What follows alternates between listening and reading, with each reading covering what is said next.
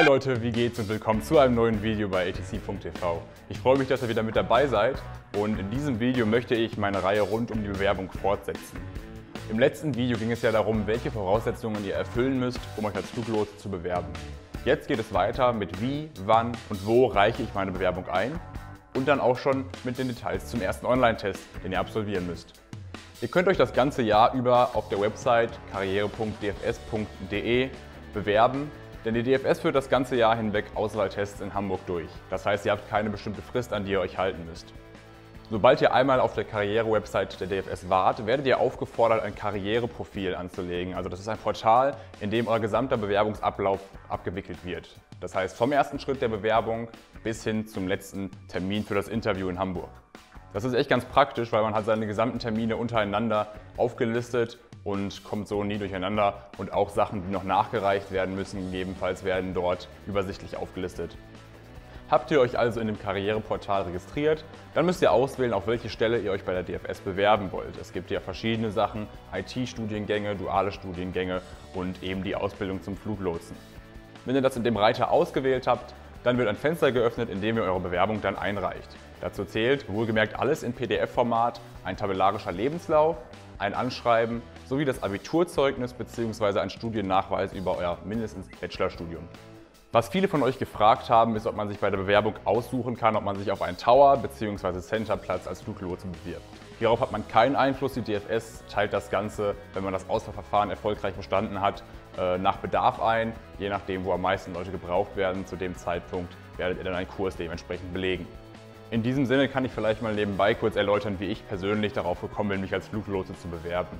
Schon seit ich klein bin, habe ich mich für die Luftfahrt interessiert aber aufgrund der wirtschaftlichen Lage momentan auf dem Markt für Piloten habe ich eben nach Alternativen gesucht und bereits vor dem Abi konnte ich dann feststellen, dass Fluglotse nicht nur eine Alternative für mich wäre, sondern genau das, was ich suche, genau der Plan A.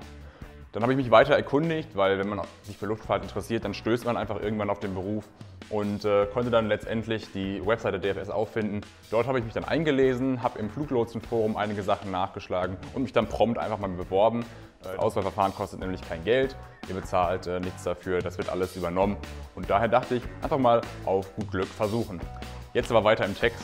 Nachdem ihr im Karriereportal eure Bewerbung eingereicht habt, bekommt ihr per E-Mail einen Zugangscode zugesendet zu eurem ersten Online-Test.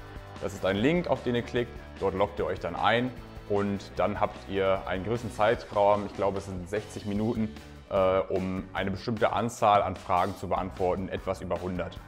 Die Fragen zielen nicht darauf ab, euer Wissen zu testen oder bereits irgendwelche Eigenschaften, die ihr mitbringen solltet, sondern es ist ein biografischer Fragebogen und ich möchte euch ein, zwei Beispiele geben, wie solche Aufgaben aussehen könnten.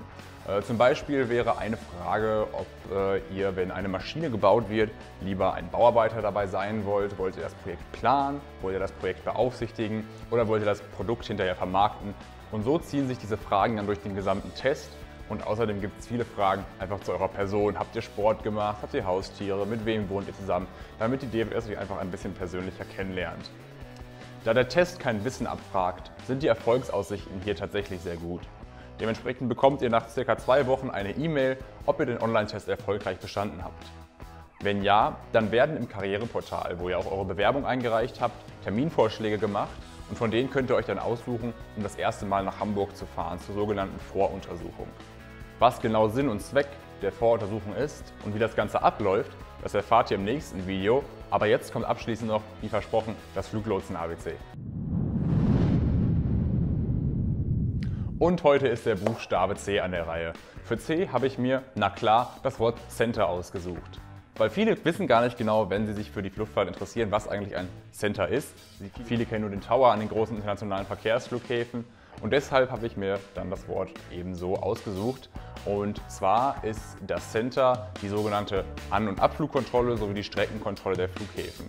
Das heißt, circa fünf Minuten nach dem Abheben bis fünf Minuten vor der Landung kontrollieren diese sogenannten Center über Radarbildschirme den Luftverkehr und geben Anweisungen an die Piloten, um auf deren gewünschte Reiseflughöhe zu steigen und konfliktfrei ans Ziel zu kommen. Außerdem lotsen die DFS-Arbeiter im Center die Flugzeuge auf den finalen Anflugweg, ab wo dann wieder der Tower übernimmt. Ca. 80% aller Fluglotsen sind in einem Center tätig. Diese gibt es für den unteren Luftraum, das heißt bis zu einer Höhe von ungefähr 7000 Metern in München, Langen und Bremen. Und für den oberen Luftraum, also ab 7000 Metern und alles drüber, in Karlsruhe. Das soll es auch schon für heute gewesen sein. Ich hoffe, dass euch das Video gefallen hat. Wie gesagt, im Link könnt ihr äh, die Bewerbungsseite der DFS aufrufen und im nächsten Video geht es dann um die Voruntersuchung in Hamburg. Ich freue mich. Bis dahin, haltet die Ohren steif.